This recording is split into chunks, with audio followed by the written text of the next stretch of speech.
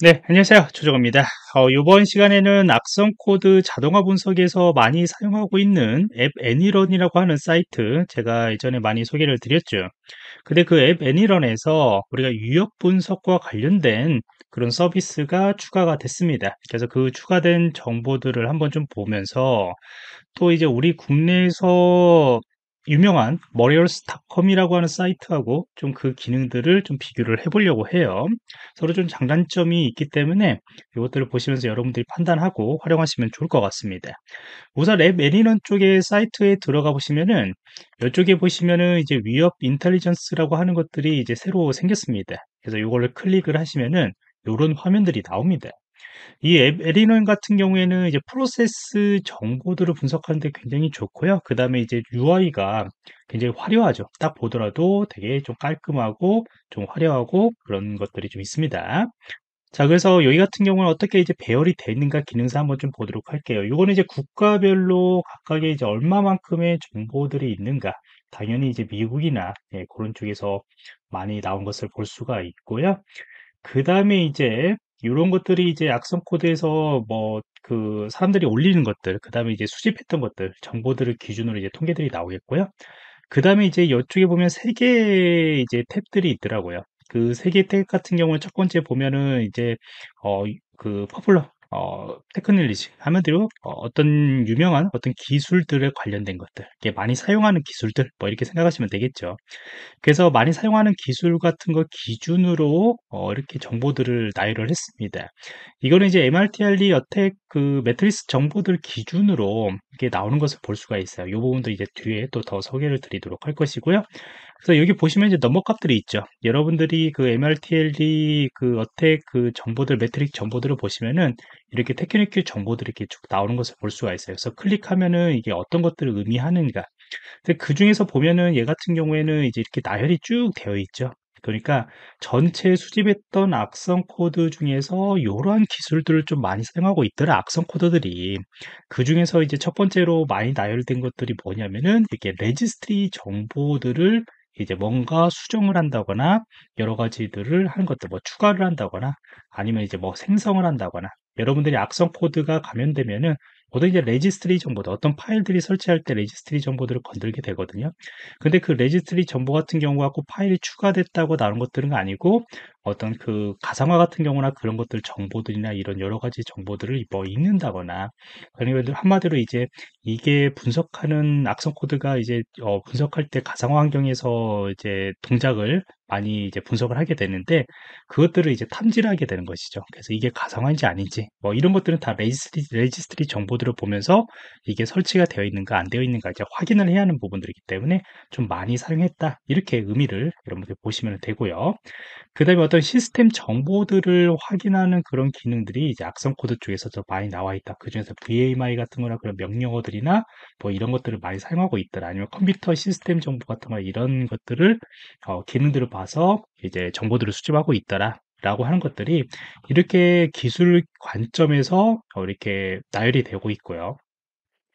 그 다음에 이제 악성 코드의 위협 정도의 그런 정보들인데 요 같은 경우에는 이제 뒤에서 이제 malwares.com하고 좀 비교할 건데 어떤 APT 그룹 이게 그룹에서 기준으로 설명하기보다는 악성 코드의 유형별로 이렇게 설명이 되는 것을 볼 수가 있어요.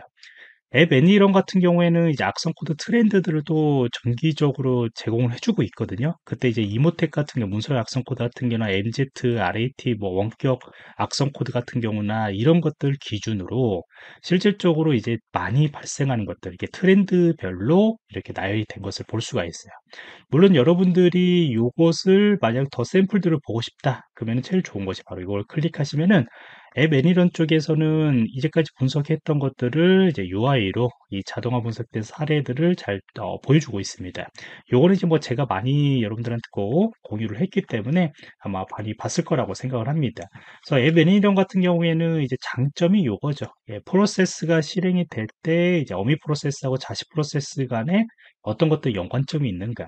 그 다음에 이것을 클릭했을 때 실질적으로 이러한 프로세스 정보들이 어디하고 또 그 다음에 어떤 그런 어, DLL 파일하고 EXE 파일들을 또 이제 관여를 하고 있는가. 이런 것들이 한눈에 보인다는 것이 굉장히 좋은 거라고 보시면 돼요.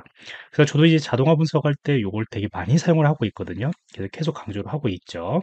그래서 그런 관점으로 이제 악성 코드의 그런 어, 많이 사용하고 있는 악성 코드 관점에서 좀 이게 정렬을 하고 있습니다. 그 다음에 이제 여기 같은 경우는 이제 Suricata rules라고 하는데 우리가 이제 Snort 룰하고 뭐 동일하다고 보시면 되겠죠. 그래서 요즘은 이제 Suricata 룰들을 사용하고 있는데 침입 탐지 시스템 쪽에서 이제 탐지하는 그런 룰 기준으로 이제 설명을 하게 되는 것이죠. 그래서 네트워크 이제 보통 이제 악성 코드는 Trojan들이 거의 뭐 한 90% 정도가 Trojan이라고 보통 판별을 많이 합니다. 요즘은요. 그래서 이제 Trojan이 뭐 detect 됐던 그런 룰들이 많이 나오는 것을 볼 수가 있고요. 그 다음에 이제 뭐 bad traffic 같은 형태들, 뭐 이제 시스템 정보 같은 거나 그런 것들을 뭐 가져간다거나 이런 여러 가지 정보들, 그 다음에 웹 어플리케이션들을 뭐 공격하는 형태의 shell, 뭐 command, 뭐 RCE 취약점이나 이런 여러 가지들이나 이런 것들이 형태들이 나오는 것을 볼 수가 있어요.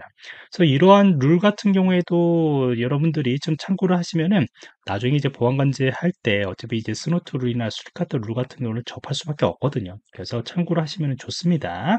그래서 이러한 룰들이 많이 탐지가 되고 있다. 어, 여러분들이 나중에 실무 가셔도 거의 순위가 요거하고 좀 비슷할 겁니다. 네, 비슷해요. 자, 그래가지고 지금은 이제 어떻게 보면은 초창기 서비스다 보니까 이제 새로 생긴 서비스다 보니까 지금 요 기준으로만 좀 많이 설명을 되고 있습니다. 좀 아쉬운 부분들이 있죠. 왜 그러면 이런 공격들이 대체 이제 악, 이, 뭐, 그, 애니런 같은 경우에는 저희가 이제 APT 그룹 같은 거나 그런 것들 그룹이 잘 되어 있지는 않아요. 그러니까 요거는 이제 악성 코드들 말 그대로 사람들이 많이 올린 것들에 대해서 요것들을 이제 기준으로 그것을 분석하고 얼마나 이제 프로세스를 추적할 수 있냐. 요런 것들이 이제 장점이다 보니까 처음부터 초창기에 이런 서비스를 가지고 한 것은 아니에요. 그래서 요거를 좀 더더 이제 요즘 보안 위협 진짜로 이제 보안 인텔리전스라고 하는 그런 서비스들 보시면은 보통 이제 APT 그룹 같은 경우 우리가 APT 공격이라고 얘기를 하잖아요. 그래서 그러한 공격 그룹들 기준으로 많이 나열을 합니다. 그게 이제 malwares.com이라고 하는 사이트가 그런 비슷한 서비스들을 제공을 해주고 있어요.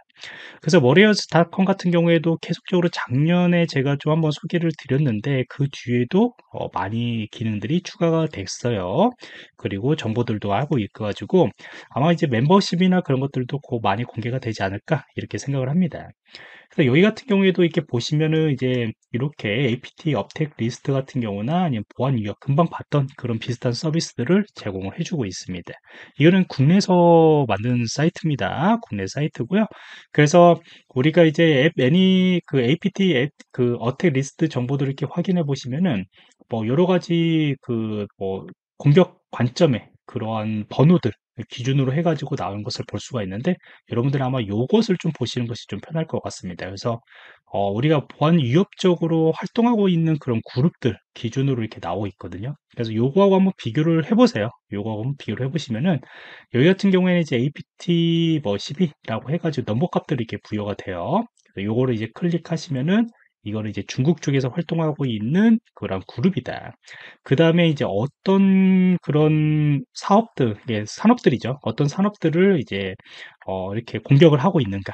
라고 하는 것들이 이제 나열이 되고 있고 거기하고 관련된 네임들도 굉장히 많이 있죠. 뭐 이러한 뭐 발음하기 되게 힘든 뭐 그런 네임들이 있는데 다 APT 그룹하고 관련된 그런 그룹이라고 보시면 되고요. 그 다음에 연관된 파일 정보 같은 경우도 이렇게 클릭하시면 아까처럼 이제 여기도 예, 샘플 정보나 그런 것들을 바로바로 이제 확인할 수가 있습니다.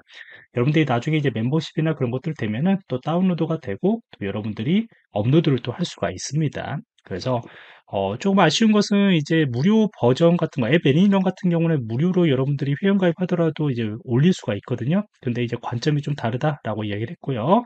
여기도 좀 자유롭게 여러분들이 올려서 나중에 볼 수 있는 그런 서비스가 아마 제공되지 않을까 이렇게 생각을 합니다. 자, 그래서 이제 여기 같은 경우에도 view, 그, 디테일 정보들을 보시면은 앱 매니저하고 동일하게 정보들을 이렇게 하고 있는데, 여기는 굉장히 이게 좋죠. 여기 같은 경우에는 이제 특정한 그룹들이 연관성들이 뭐가 있는가 추적이 굉장히 잘 되어 있습니다. 그래서 사실 제가 생각하는 보안 intelligence 같은 경우에는 이런 구조거든요.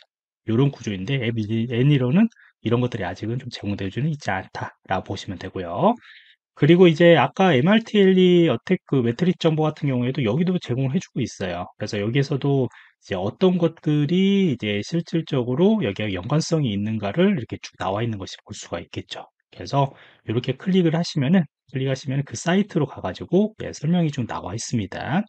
그래서 요 그 metric 정보 같은 경우에는 최근에 이제 보안 intelligence 같은 경우는 악성 코드 아니면 이제 모의 해킹 관점에서도 많이 기재를 하고 있어요. 그래서 여러분들이 보안 관제 쪽이나 침해대응 쪽 특히 그쪽으로 업무를 좀 공부를 한다라고 한다면은 관심을 좀 많이 가져야 할 그런 파트라고 보시면 됩니다.